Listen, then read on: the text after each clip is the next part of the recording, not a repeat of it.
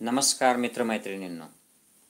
आपल्याकडे नुकताच एक काल आपला तरुण ॲक्टर चाळीशीमध्ये एक्सपायर झाला आणि असं सांगितलं जातं आहे की तो हार्ट अटॅकने गेला. काही महिन्यांपूर्वी मी एक व्हिडिओ केला होता आणि त्यात सौरव गांगुली म्हणजे आपला दादा क्रिकेटमधला याला चाळीशीमध्ये हार्ट अटॅक आला. आणि त्याची काय काय कारणं असू शकतात भारतीयांमध्ये अशा तरुणांमध्ये हार्ट अटॅक का येत आहेत? स्ट्रोक्स का होत आहेत? हृदयाशी संबंधित आजार का वाढत आहेत? याच्याबद्दल खरं म्हणजे बरंच जगभर संशोधन झालेलं आहे आणि अजूनही होत आहे.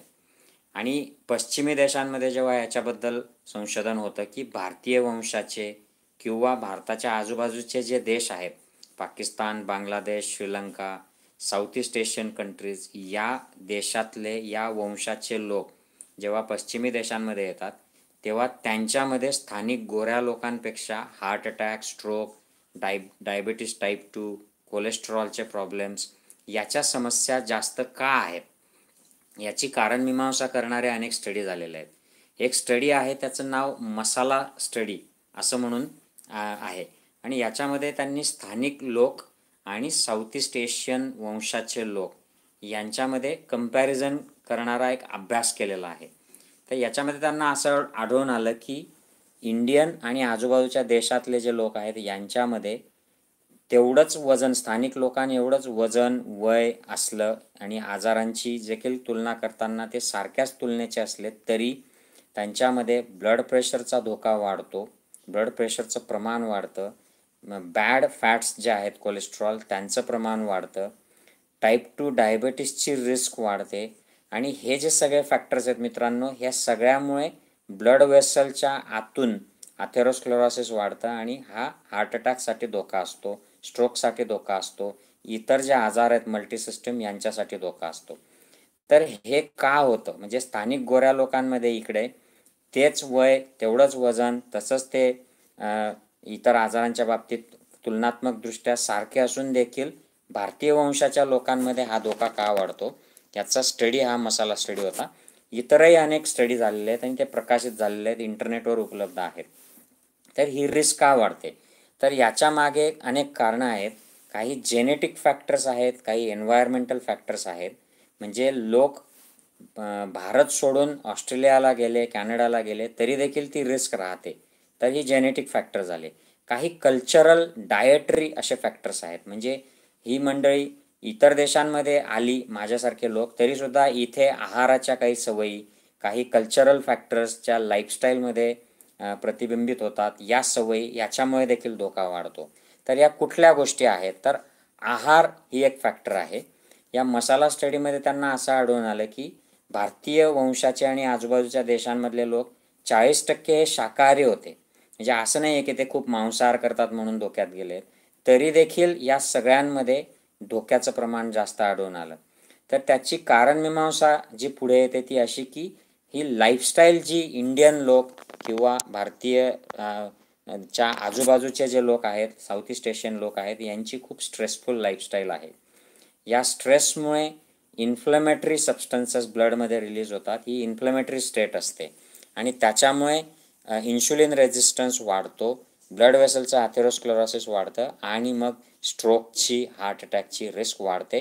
ह्या स्ट्रेसमुळेच लाईफस्टाईलमुळेच ब्लड प्रेशरचा धोका वाढतो आणि इन्शुलिन रेझिस्टन्स वाढल्यामुळे टाईप टू डायबिटीसचा धोका देखील वाढतो.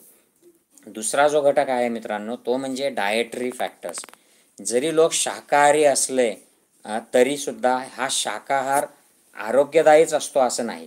कारण बरेचसे लोक हे गोड खातात तळलेलं खातात फॅटी खातात आणि यातलं काही नाही खाल्लं उरलेलं खात असले तरी ते हेल्दी नसतं. त्याच्यात इनफ गुड फॅट्स नसतात गुड प्रोटीन्स नसतात.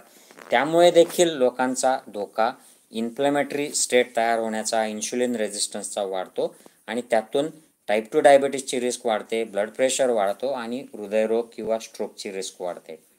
तिसरा जो फॅक्टर आहे तो म्हणजे स्ट्रेस इंडियन आणि आजूबाजूच्या देशांमधले लोक हे खूप स्ट्रेसफुल लाईफ जगतात. नीट झोपत नाहीत. आणि लॅक ऑफ स्लीप किंवा स्ट्रेस मानसिक अस्वस्थता खूप धाव धावणे कशाच्या तरी मागणे एक मिळ गोष्ट मिळवून झाली की दुसरी मिळवणे करिअरमध्ये एक पोस्ट मिळाली की दुसऱ्या कंपनीमध्ये दुसरी पोस्ट मिळवणे एक प्रॉपर्टी झाली की दुसरी प्रॉपर्टी मिळवण्यासाठी जो धावपळ लोक करतात रेस्ट घेत नाहीत रिलॅक्स होत नाहीत याचा परिणाम म्हणून इन्शुलिन रेझिस्टन्स वाढतो अथेरोस्क्लेरोसिस ब्लड वेसल्समध्ये वाढतं. आणि पुन्हा ही सगळी मेटाबॉलिक सिंड्रोमची रिस्क वाढून हार्ट अटॅक आणि स्ट्रोकची रिस्क वाढते. तर हे असे फॅक्टर आहेत. यासोबत इनॅक्टिव्हिटी बैठे काम वाढणं आणि एक्झरसाईज रेग्युलर नसणं कुठल्याही छोट्या अंतरासाठी देखील गाड्या काढतात लोक पायी न जाता सायकलवर न जाता कार काढतात किंवा दुचाकी वाहन मोटरसायकल काढतात. याच्यामुळे या इनॅक्टिव्हिटीमुळे देखील बॅड फॅट्सचं प्रमाण वाढतं. सेंट्रल ओबेसिटी वाढते आणि इस्पेशली भारतीय आणि आजूबाजूच्या देशांमधल्या लोकांमध्ये सेंट्रल ओबेसिटी म्हणजे छाती पोट कंबर इथे ओबेसिटी वाढते फॅट जमा होतं. आणि हे फॅट जे असतं मित्रांनो central obesity he directly correlated with visceral obesity visceral fat accumulation आणि त्याच्यामुळे आपले वेगवेगळे जे अवयव आहेत शरीरातले याच्यात देखील फॅट जमा होतं ब्लड वेसल्समध्ये फॅट जमा होतं आणि म्हणून धोका वाढतो. तर या सगळ्या गोष्टींचा परिणाम म्हणून भारतात मोठ्या प्रमाणावर हृदयरोगी अस्तित्वात आहेत. आपल्याकडे जवळजवळ सहा सात कोटी लोक हे हृदयरोगाच्या धोक्यामध्ये आहेत आणि याच्यामध्ये तरुणांचं प्रमाण मोठं आहे. जवळजवळ निम्मे यातले लोक हे पन्नास वर्षाच्या खालचे आहेत. यात मोठ्या संख्येने चाळीसीच्या खालचे देखील लोक आहेत. भारतासारख्या देशांना डायबेटीसचे कॅपिटल म्हटलं जातं आहे. आणि डायबेटीस म्हणजे त्यासोबत हे सगळे हृदयाशी संबंधित ब्लड प्रेशरशी मेंदूशी संबंधित हे देखील रिस्क वाढते. याच्यासाठी भारतात मल्टिपल लेवलला काम होणं गरजेचं आहे. नुसतं प्रायव्हेट दवाखाने उघडून डॉक्टर स्पेशालिस्ट डॉक्टर तयार होऊन ही फक्त आरोग्य जेव्हा बिघडतं त्यावेळेला डिसीज मॅनेजमेंटसाठी सेकंडरी टर्शरी लेवलच्या केअरला हे कामात येतात. परंतु आपल्याकडे प्रिव्हेंटिव्ह मेजर्स कामात आले पाहिजेत. आणि याची सुरुवात अगदी मुलाच्या जन्मापासून आपण त्यांना कुठल्या आहाराच्या सवय लावतो कुठले खेळ खेळवतो या लाईफस्टाईल कशी जगवतो इथपासून शाळेत त्यांना काय मिळतं की फक्त शाळेत त्यांना पुस्तकी किडे कॉम्पिटिशन ग्रेड्स आणि मेरिट लिस्ट यांच्या मागे धावणं शिकवलं जातं.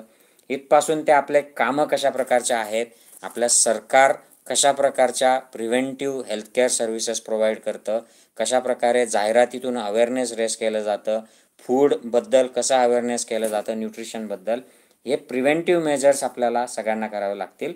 वैयक्तिक पातळीवर तुम्ही स्वतः काय खाताय तुम्ही कसे झोपता आहात तुम्ही मेडिटेशन करता का कसं स्ट्रेसफुल लाईफ जगता आहात व्यायाम करता आहात का हे तुम्ही आणि तुमच्या फॅमिलीसाठी तुम्हाला हे बघावं लागेल. तेव्हा आपल्याला या आजारांपासून वाचता येईल आणि जास्तीत जास्त दशकं हे निरोगी आयुष्य जगता येईल. तर हे सगळे फॅक्टर्स आहेत. याचाच परिणाम म्हणून जे लोक स्ट्रेसफुल जगतात किंवा आहाराची ॲक्टिव्हिटीची काळजी करत नाहीत यांच्यामध्ये हे सगळे लाईफस्टाईलशी रिलेटेड मेटाबॉलिक सिंड्रोमशी रिलेटेड आजार वाढत आहेत आय होप तुम्हाला यातून काही इन्स्पिरेशन मिळेल. इतरांना देखील शेअर करा. पुन्हा भेटूयात पुन्हा एखाद्या हेल्थशी रिलेटेड व्हिडिओमध्ये टेक केअर बाय बाय